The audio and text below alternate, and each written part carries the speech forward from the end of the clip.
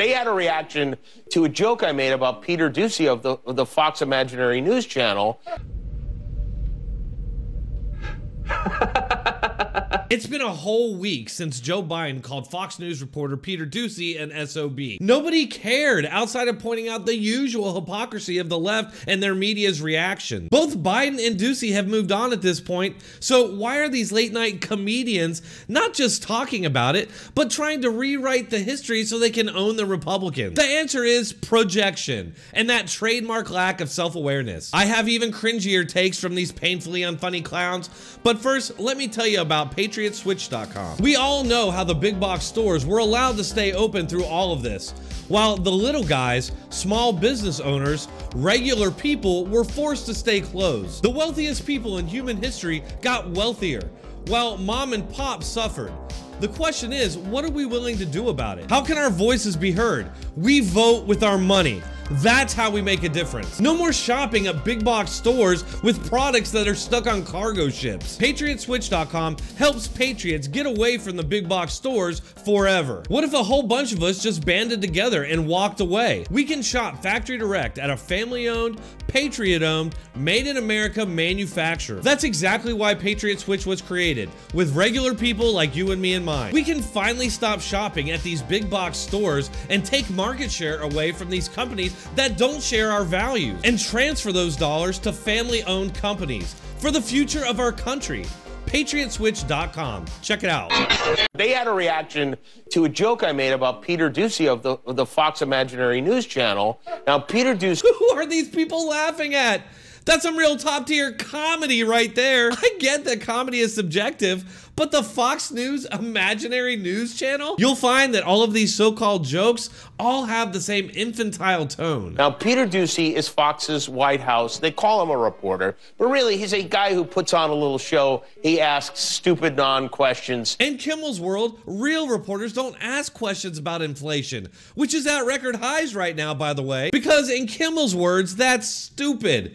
Again, it's like we're on a kindergarten playground. And just one more quick thing. Even several leftist reporters in the media have come out and said that Doocy's question was perfectly legitimate, especially since it was an economic press conference. To be fair to Peter Doocy, the question was fairly anodyne. It was just, yeah, will, will inflation. He didn't. That's the problem here. These guys are zealots who only think that their political opponents deserve scrutiny, not their guys, because their guys are inherently good by virtue of the party that they're in. I mean, the other day, Joe Biden was, didn't realize he was, had microphones on. He called him a dumb son of a bitch. Tough questions, those reporters. America would be clueless, clueless to the extent of the failures and the disaster that this White House has become. Do you know what? I hadn't, you're right, dipschmidt.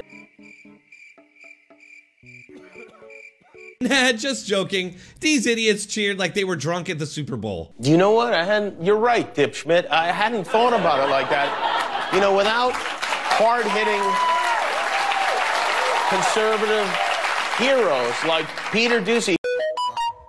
I'd be embarrassed if I even chuckled at that, much less losing my mind and clapping over Dip Schmidt because his name is Rob Schmidt. Who, by the way, made a great point about the reporter's role in keeping a check on power. Not lapdog propagandists like Kimmel, Meyers, NBC, CBS, ABC, CNN, MSNBC, PBS, NPR, and you all know the rest. Both sides of the aisle come together to say Peter Doocy is stupid. Who the hell is watching this? Apparently, not many these days, with the top guy being Greg Gutfeld over at Fox News. All right, enough of this, Chud. Let's see what late night show host Dennis Reynolds has to say about what a horrible and human monster Peter Doocy is. Republicans and right wing pundits who support Donald Trump have spent the last few days.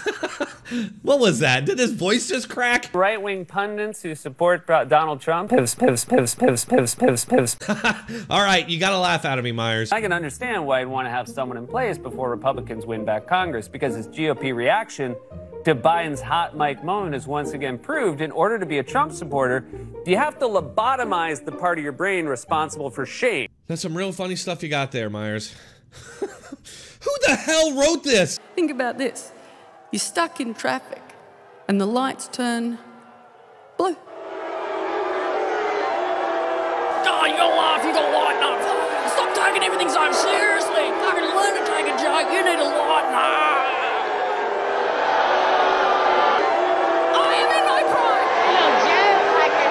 No, no, that makes sense. Seriously though, he just called at least 75 million Americans lobotomized. For all things, shame.